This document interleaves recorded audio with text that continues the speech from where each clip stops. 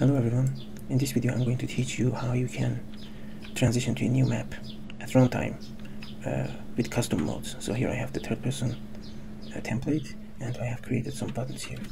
Now if I press the first person button, this is going to open the same map but with a different game mode. And as you can see I just press the button and it used a different game mode. This is very useful when you have a lot of game modes and you want to use them on a single map so you don't have to duplicate your map multiple times. So let's let's see how this works. Uh, okay so to begin with we are gonna need a widget for the buttons that we just used. So let's create that. Uh, right click go to user interface and create a widget blueprint I name this buttons and I open it up. So here we're gonna need a couple of things. The first one is a canvas panel. And we also gonna need a couple of buttons to place here. So I'm gonna place right here, another one here, and another one here. I'm also gonna drop some text in these buttons so I can so I know which button does what. I'm gonna change this to third person and I'm gonna make this a little bit smaller maybe 15 and I'm also also gonna fit this in the button so so just make the button a little bit bigger so it fits. And I'm also gonna change the color to black. And I'm gonna do the same thing for the others so let's drop a text.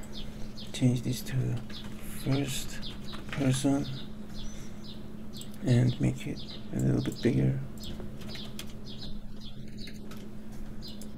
I drop another one here. Flying.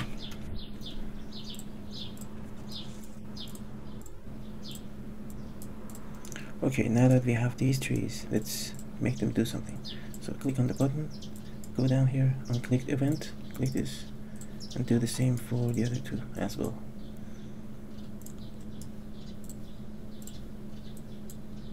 OnClicked right. And now that we have this we're gonna need a node which is called open level by object reference. Connect this here. And we're also gonna need a couple of things here. First let's add feature or content pack. I'm gonna add the first person to this project. And I'm also gonna add I shouldn't have closed that I'm also gonna add uh, top down.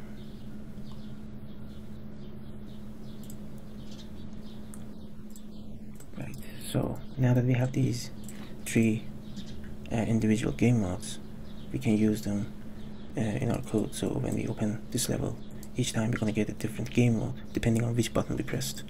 So for the first one, which was this I believe, we are going to choose the third person map and we're also going to duplicate this and use this for the others as well. Now in the options. This is very important. We are gonna go to the third person folder the uh, blueprints and find the game mode. And we're gonna copy the reference. Once you've copied that come back here and place it here. But you have to delete some part of this and edit this a little bit. So delete the last character and use an underline and use a upper letter C. Also, you're gonna come up here right before the game, before the uh, slash. You're gonna delete everything that's before that, and you have to type manually a question mark, type in game, and put a put an equal symbol right here and this is the correct format. So a question mark game equal uh, symbol and the rest of it should be the path to the game mode asset. And also edit the last part.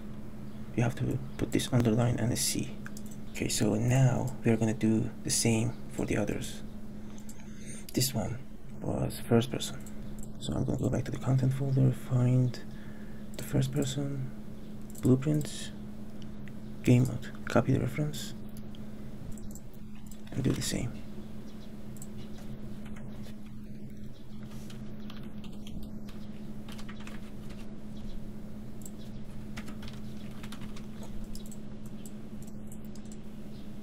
And for the third one I'm gonna use the top-down uh, game mode.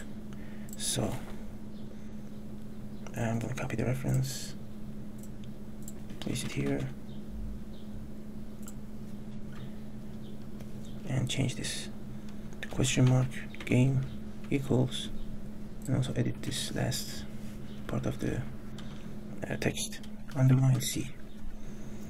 Okay that should be all we need here. If I've done everything this should work. Now let's go back to our third person character. Uh, third person character here at the begin play we are gonna need we have to create the widget that we just created and put it on the screen. So type create widget set the uh, find the widget here and add this to viewport add to viewport okay so this should technically work right now. And let's press let's press play and see. Okay so I have these buttons here.